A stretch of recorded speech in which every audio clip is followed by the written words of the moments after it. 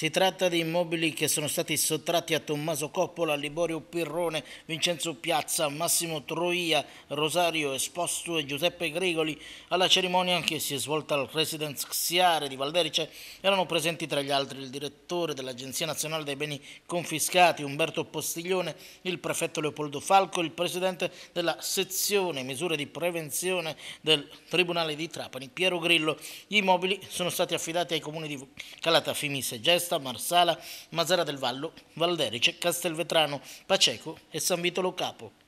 Io ho fatto una proposta per tutte le aziende soprattutto, perché gli immobili bene o male insomma, restano, ma per tutte le aziende che sono attività organizzate bisognerebbe fare immediatamente un esame da parte di un gruppo di esperti da istituire presso la Corte d'Appello competente per territorio che eh, valuti sulla base di tutti una, tutta una serie di elementi che dovrebbero raccogliere gli investigatori volti a fare un quadro dell'attività sulla quale adesso stiamo operando e che ci consenta di dire si tratta di una cosa seria o si tratta di qualcosa che è stato costruito esclusivamente per delinquere. Se è costruito esclusivamente per delinquere, a mio avviso, va immediatamente chiusa, così si evita di spendere soldi che magari sono stati confiscati eh, quando è stato preso questo bene nel tentativo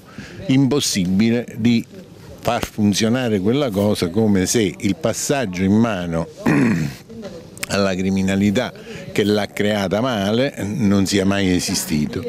Quelle risorse potrebbero invece essere spese per avviare progetti nuovi che possono essere studiati in sintonia maggiore con il territorio. In Sicilia bisogna fare essenzialmente attività di accoglienza, turismo, è meglio che ce lo mettiamo in destra, perché tante altre cose magari non riescono perché non, non, non, non ci sono le condizioni. Com'è possibile che hanno gestito bene questo posto? L'anno scorso hanno fatto 300.000 euro di utili.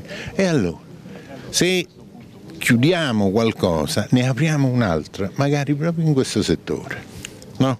E facciamo lavorare la gente, facciamo lavorare le persone per bene individuate all'interno del parco dei dipendenti dell'azienda confiscata che va chiusa e recuperiamo il lavoro per quella gente che è gente per bene e non facciamo un danno alla società.